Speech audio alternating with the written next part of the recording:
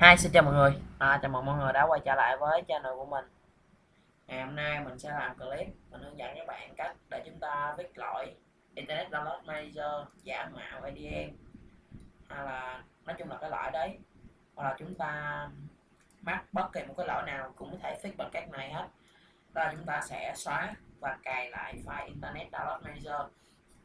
Đây là cái cách dễ nhất, đơn giản nhất và hữu hiệu nhất để chúng ta fix được cái lỗi này ha rồi đầu tiên thì chúng ta sẽ bước đến cái bước một là chúng ta sẽ xóa internet download manager đi.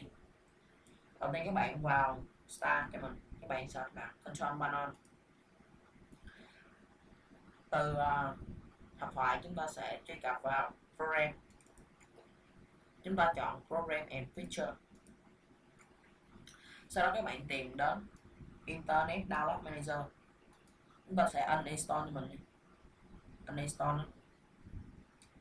sau khi chúng ta uninstall xong thì tại vì đây mình vừa mới là uninstall rồi cho nên mình sẽ không làm nữa nó sẽ hiện ra một cái bảng thông báo có cái uh, dấu chấm than nằm giữa khung tam giác màu vàng khung cảnh báo đó. Đây bên đây là đồng ý còn bên đây là cancel các bạn sẽ can ra cho mình. Thoát ra bạn bạn không là không đồng ý. Rồi tắt không thoại đi chúng ta vào lại star và chúng ta search cho mình là dòng chữ thế này đây. Đó, mình thì không biết đọc, cho nên đọc là gedit đó ta mở gedit lên. Ở đây chúng ta sẽ có là tổng cộng là năm thư mục ta sẽ mở thư mục thứ ba.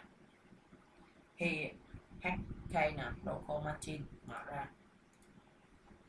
Tại đây chúng ta tìm đến thư mục internet download manager ta xóa nó đi. Đó. sau khi uh, thực hiện bước đó ta xem như chúng ta đã xóa được internet download manager tiếp theo các bạn truy cập vào đường link mình để phía bên dưới video.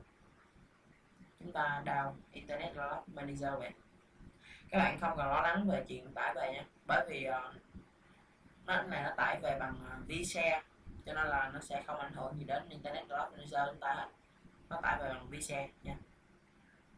Sau khi uh, tải về nó sẽ được một cái file nén như thế này. Đây file nén. Chúng ta sẽ check he để nén ra. Chúng ta sẽ được bốn cái một. Ta sẽ chạy cho một element này. Chúng ta sẽ chọn là run sau đó làm theo hướng dẫn. Đến bước cuối cùng khi uh, hoàn thành thì nó sẽ yêu cầu khởi động lại. Và sau đó chúng ta sẽ khởi động lại máy tính. Chúng ta ấn vào là khởi động lại ngay. Sau khi khởi động máy tính lên thì uh, xem như chúng ta đã fix thành công lỗi và chúng ta có thể tải về được như bình thường. Tay máy của mình vừa mới fix lỗi xong. Đó, đã tải được một cái uh, file BlueStack này. Đó. Thì uh, rất là đơn giản mà còn là hiệu quả nữa thì uh, mình cũng xin kết thúc clip tại đây ha. Rồi. À, bao lâu nó sẽ hiện bị hiện lên một cái khung như này nhưng chúng ta cứ bỏ qua. Không không mà xoắn gì hết á. Nói chung là vẫn dùng được bình thường chỉ khó chịu là lâu lâu nó hiện cái đó lên thôi. Nói chung không có gì tao tát cả. Vẫn sẽ sử dụng được. Và cảm ơn các bạn đã theo dõi video của mình.